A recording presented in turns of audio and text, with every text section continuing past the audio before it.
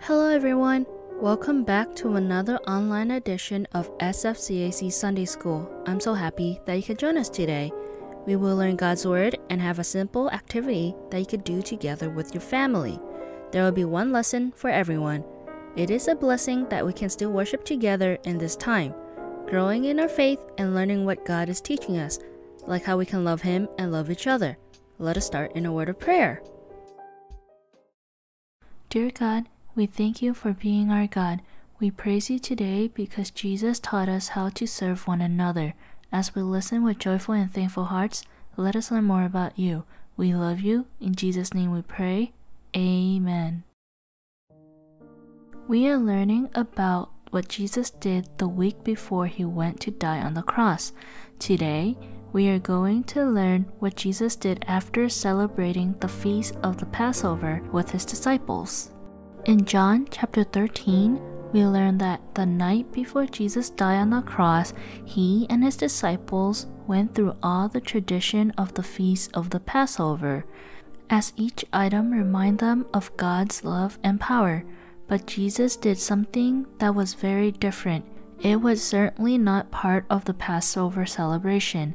Jesus got up from the meal and took a towel and wrapped it around himself. Jesus doing this during the Passover would have been weird to the disciples, the same way it would have been weird for you if no one exchanged present at Christmas time, or if your grandma served soup instead of turkey at Thanksgiving. Jesus was breaking the tradition. Next, he poured water into a basin. Jesus began to wash each of the disciples' feet, one by one, and dry them with the towel he had tied around his waist. This was a job only a servant would do. The disciples thought it was very inappropriate and they did not understand why Jesus was doing this. In fact, Peter spoke up and told Jesus that he didn't want him to wash his feet. But Jesus told Peter that if he didn't help him get clean, Peter could not be his friend. Jesus did not mean that Peter can only be his friend if he had clean feet. Jesus was trying to show his disciples that only he could clean their hearts, but the disciple did not understand. When Jesus finished washing each of the disciples' feet, he came back to the table to try to help them understand why he had done this. Jesus said that a servant is humble and knows he is not too good for any job. He told them that he made himself a servant of men when he left heaven to become a man. Even though he is greater than all men, Jesus wants the disciples to be willing to serve all men too. No one is unimportant to God's eyes. Jesus told them about something that was going to happen. Jesus knew he was going to die on the cross. He also knew one of his disciples, Judas Iscariot, was going to betray him, give him to the people who want him to die. Judas was filled with pride which is exactly the opposite of what Jesus wants a humble servant.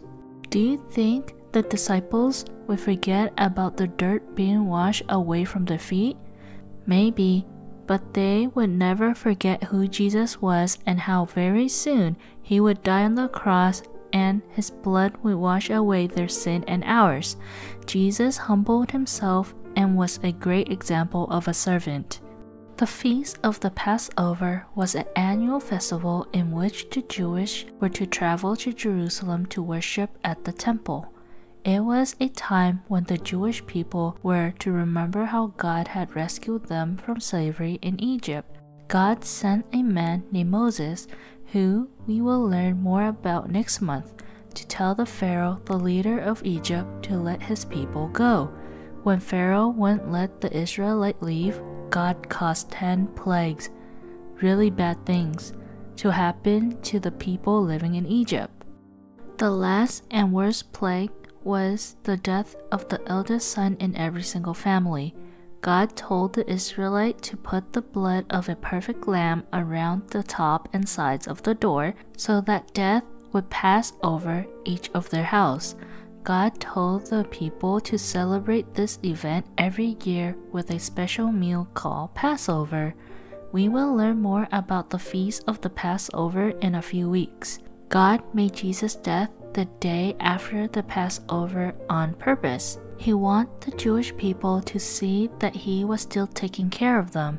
God wanted them to see that Jesus was just like the Passover lamb. Jesus was the only perfect lamb that could give life to everyone because he was pure and sinless. Hebrews chapter 12 verse 2 it says, Fixing your eyes on Jesus, the pioneer and perfecter of faith, he endured the cross and sat down at the right hand of the throne of God. According to our verse, who example should we follow? Yes, Jesus' example. He showed us the ultimate act of service when he gave up his life on the cross for us. Death on a cross was a very painful and shameful way to die. Only the worst criminal was crucified, but Jesus endured the cross because by dying, Jesus made it possible for us to be with God forever in heaven, even though we have sinned. He humbled himself and experienced the pain and the shame on the cross just for us. What an amazing example Jesus is to us. Today, we learn Jesus serves. He not only served his disciples, but he also served us. How did Jesus serve his disciple?